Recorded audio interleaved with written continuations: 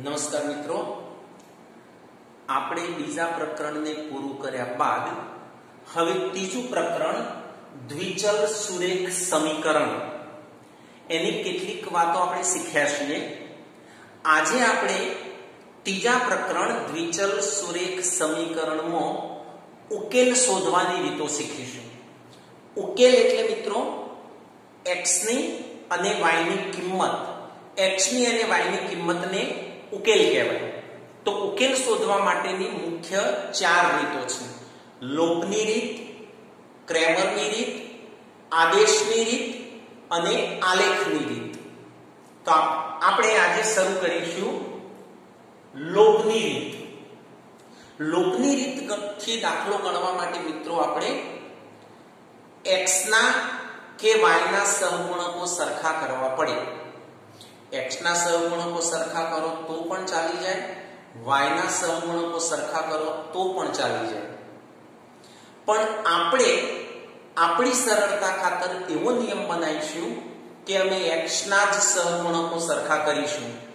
x ના સહગુણકો સરખા કરી અને પછી બાદ બાકી કરો એટલે જવાબ આવી જાય. તો આપણે દરેક દાખલામાં x ના સહગુણકો જ સરખા કરીશું. અહીંયા એક રકમ લખી છે મિત્રો. લોપની રીતે આપણે ગણીશું. x 2 3 5 into y plus 1 is equal to 0 મતલબ x ભાગ્યા 2 વત્તા 3y ભાગ્યા 5 વત્તા 1 બરાબર 0 અને બીજું સમીકરણ છે x ભાગ્યા 2 વત્તા y ભાગ્યા 3 બરાબર 1 ભાગ્યા 3 નો ઉકેલ શોધો. તો આપણે જ્યારે ગણવાની શરૂઆત કરીએ મિત્રો ત્યારે સૌથી પહેલા આપણું સમીકરણ પહેલું આપણને ગમે એવું હોવું જોઈએ. આ નીચે બગડો મચડો લબડી ગયા હોય, અપૂર્ણાંક સંખ્યાઓ હોય, ના ગમે આપણને આવું સમીકરણ. એટલે અપૂર્ણાંક હોય તો સૌથી પહેલા જે સંખ્યા આપણને નડતી હોય, એના વડે બધાને ગુણી દેવાના. બે અને પાંચ નડે છે, તો આ x ભાગ્યા બે ના જોડે બે અને પાંચ મૂકવાના.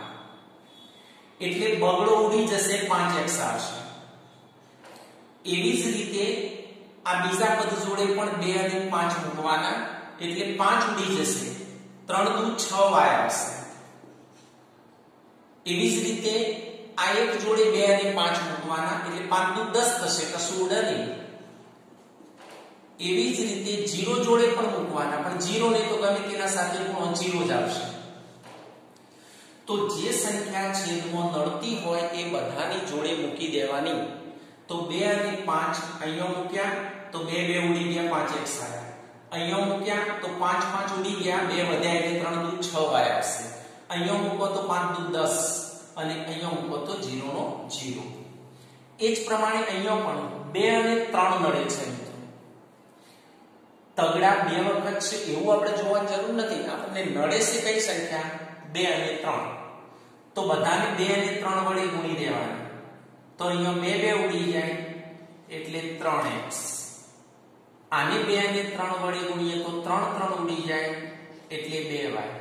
આને બે અને ત્રણ વડે ગુણીએ તો 3 3 ઉડી જાય એટલે બે. હવે યાદ રાખો મિત્રો. અહીંયા x વાળું પદ y વાળું પદ અને સંખ્યા બધું એક જ સાઈડ છે.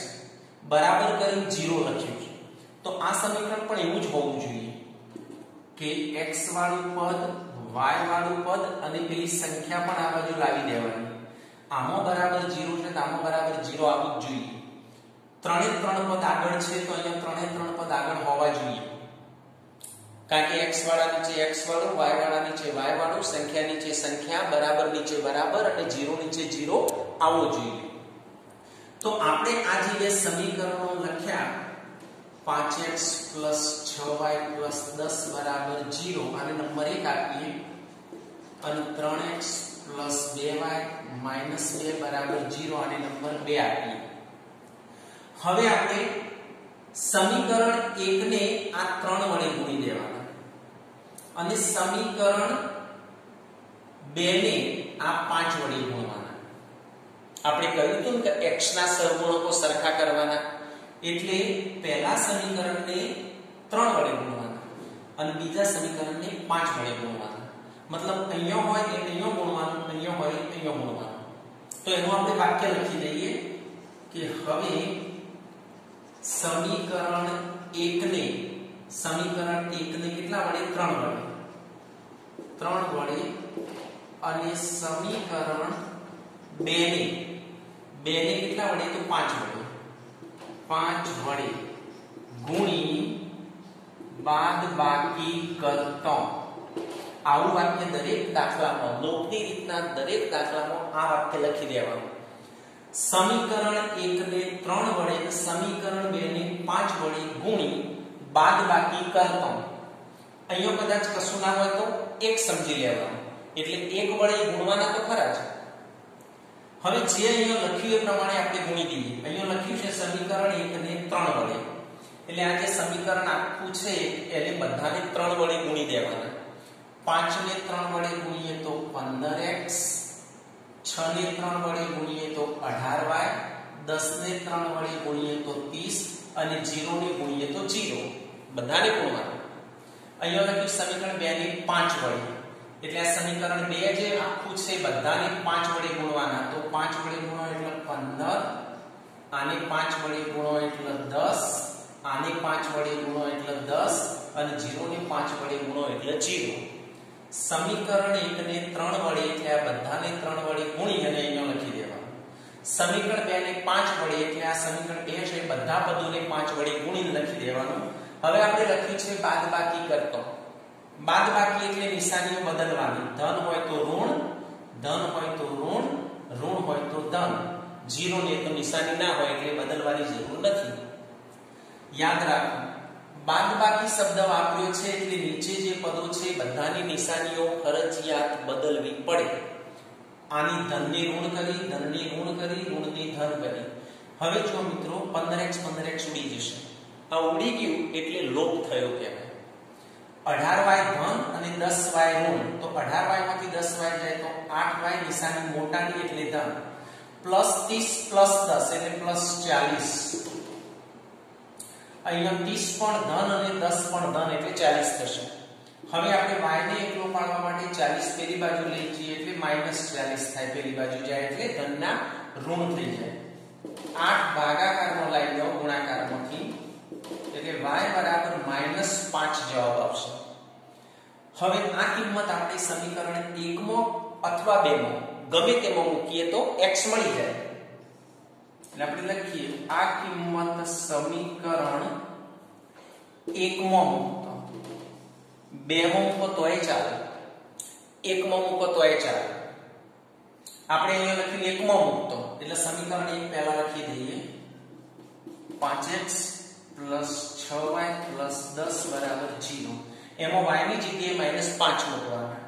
એટલે જો y દેખાય ત્યાં -5 કૌંસમાં લખવાનું. 6 પંચું 30 પ્લસ માઇનસ એટલે માઇનસ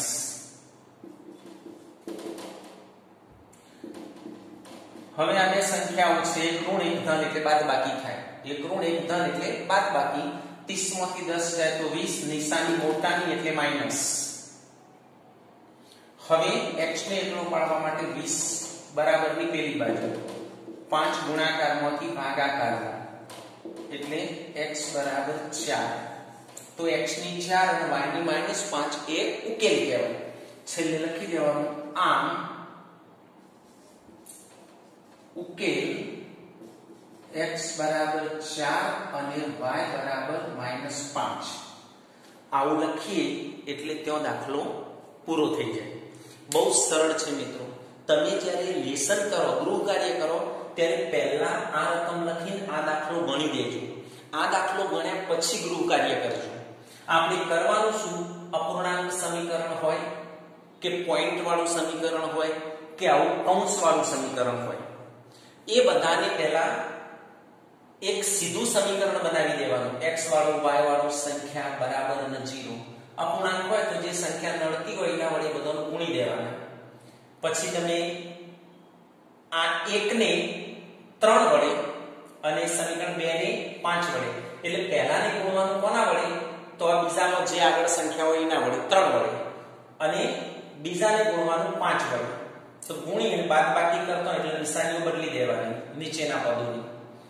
y ની મળી કોઈ પણ સમીકરણમાં મૂકો એટલે ની મળી જાય. અહીંથી અહીંયા આવશે હવે તમને ગૃહ કાર્યમાં આ ચાર દાખલા આપ્યા છે મિત્રો.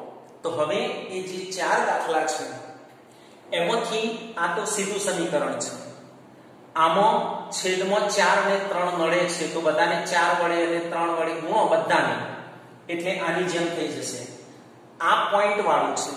એનું શું કરવાનું એ જોઈ લેજો મિત્રો. તો તમે હવે આ સમજાવું છું. એટલે તમને લેસન કરવામાં મુશ્કેલી ના પડે. જો પોઈન્ટ વાળું સમીકરણ હોય પ્લસ ઝીરો પોઈન્ટ ત્રણ વાય બરાબર એક પોઈન્ટ સાત. આપણે એક સમીકરણ બનાવીએ, એવી રીતે તમારે બીજું બનાવવાનું. તો પોઈન્ટ કાઢી દેવાનું, નીચે દસ લખવાના, બીજું કંઈ કરવાનું નથી. પોઈન્ટ કાઢી નીચે દસ લખો, હવે અપૂર્ણાંક તો એ તો વાત આપણે કરી છે કે જે છેદમાં નળતું હોય બધા સાથે ગુણી દેવાનું. એટલે આને દસ વળી ગુણો દસ દસ ઉડી જશે.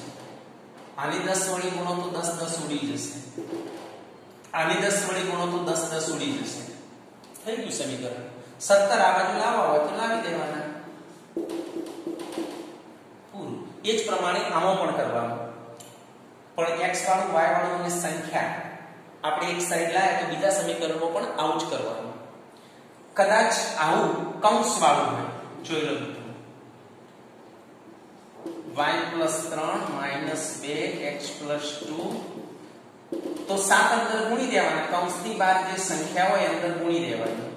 2x પછી 2 ની 4 પણ માઇનસ આગળ છે એટલે પાછળની નિશાની બદલી જાય. આને ગુણવાનું. 14 બાજુ લાવી દો. બરાબર 0 લખવાનું. પહેલી રકમ x વાળી. માઇનસ બે એક્સ છે તો માઇનસ બે એક્સ જ લખવાનું. પછી વાય વાળું. અને પછી સંખ્યા. અહીંયા એકવીસ. માઇનસ ચાર અને માઇનસ ચૌદ, એટલે માઇનસ અઢાર. માઇનસ ચાર, માઇનસ ચૌદ, એટલે માઇનસ અઢાર. એકવીસમાંથી અઢાર કાઢીએ તો ત્રણ, નિશાની મોટાની એટલે પ્લસ પહેલું માઇનસ બે એક્સ, પછી સાત વાય એકવીસમાંથી અઢાર કાઢવાના એટલે ત્રણ, બરાબર જીરો એક વાત યાદ રાખો મિત્રો. પહેલું પદ ક્યારે ઋણ આવવું જોઈએ નહીં. કોઈ દાખલામાં પહેલું પદ ઋણ આવવું જોઈએ નહીં. ઋણ આવે તો શું કરવાનું? તો જો ઋણ આવી જાય, તો બધાની નિશાનીઓ બદલી દેવાની. એટલે પહેલા પદની બદલવાની, આ બીજા પદની બદલવાની, ત્રણની પણ બદલવાની, જીરોની પણ બદલવાની, પણ જીરોને હોય નહીં એટલે પ્રશ્ન નથી. પહેલું પદ ક્યારે ઋણ આવવા દેવાનું નહીં. આવી જાય તો ચલાવી લેવાનું નહીં. બધાની નિશાનીઓ બદલી દેવાની. આની બદલવાની, આનીએ બદલવાની આનીએ બદલવાની. કોઈને છોડવાનું નહીં. પેલી સાઈડે બદલવી પડે. પણ જીરો તો આ પ્રમાણે આને પણ બનાવી દેવાનું. તો આ ચાર દાખલા ગૃહ કાર્યના છે. આ ચાર દાખલા લેશનમાં તમે લખી સુંદર રીતે ગણી અને મોકલાવશો. Okay thank you